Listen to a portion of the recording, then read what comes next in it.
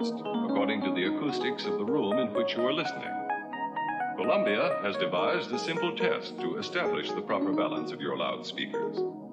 Adjust your speaker levels so that the sound appears to come from a point midway between the speakers. When this effect is achieved, the speakers are in balance.